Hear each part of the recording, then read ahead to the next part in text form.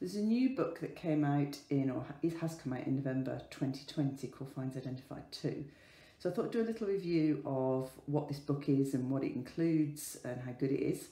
Um, and do a little comparison with the original book, Finds Identified, which came out in 2019.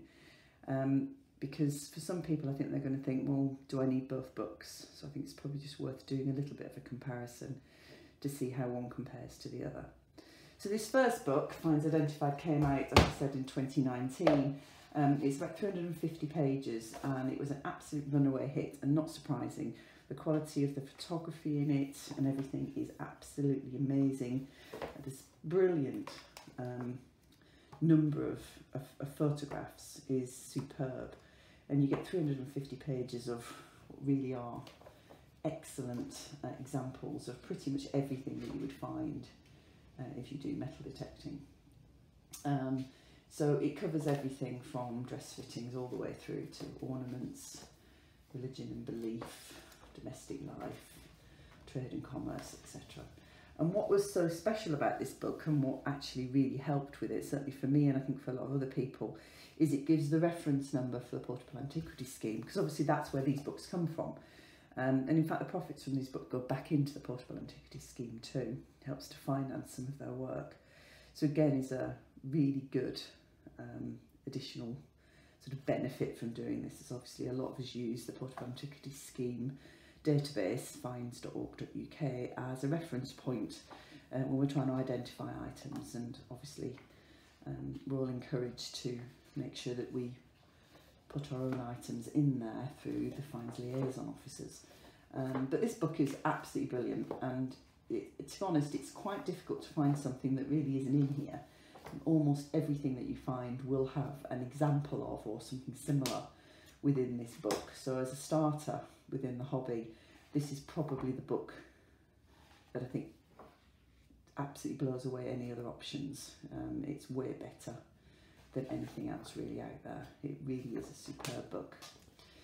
So the new book, Finds Identified 2, um, is actually spending more time instead on just a smaller area, dress fittings and ornaments. It does do quite a lot of examples and covers quite a lot of things which are covered in Finds Identified, but it does it in a lot more detail. So for some areas like uh, brooches, um, I think there's about 130 pages here of brooches within this book. I mean, it is superb.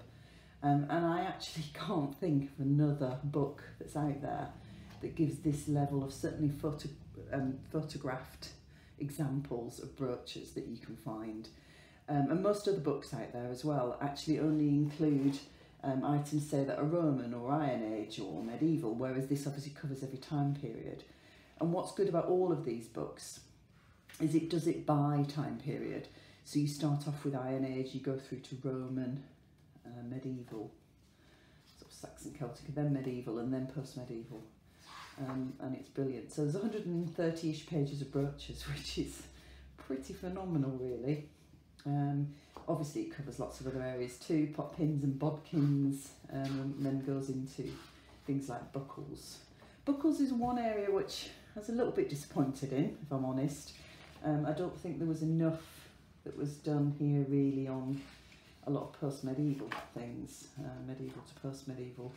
Um, it just didn't seem to quite cover um, some of the areas which I thought it would do on buckles. It seems to spend a lot of time on um, ones which aren't really that usual that you find and doesn't seem to cover all the ones that I would have thought that most of us would find most of the time. But maybe that's done on purpose, I don't know.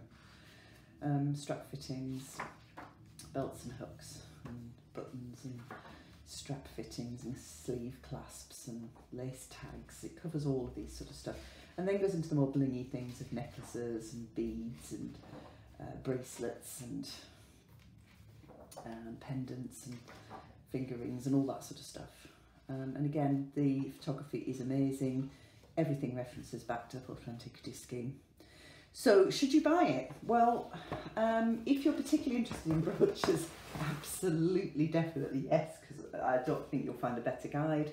Um, if you're starting out in the hobby, I would definitely go with Finds Identified, the original one, because um, the, the breadth of uh, subjects it covers is absolutely amazing. Uh, Find Identified 2 does duplicate some areas, but as I say, it covers a lot more depth as well. So personally, I think it's worth buying the extra book um, for £30 with the quality of the print, quality of the photography, um, even the paper, superb quality. Um, so it's worth having. Uh, but if you're starting out in a hobby, I would start with this one and buy that one if you've got a spare £30. It's a good book.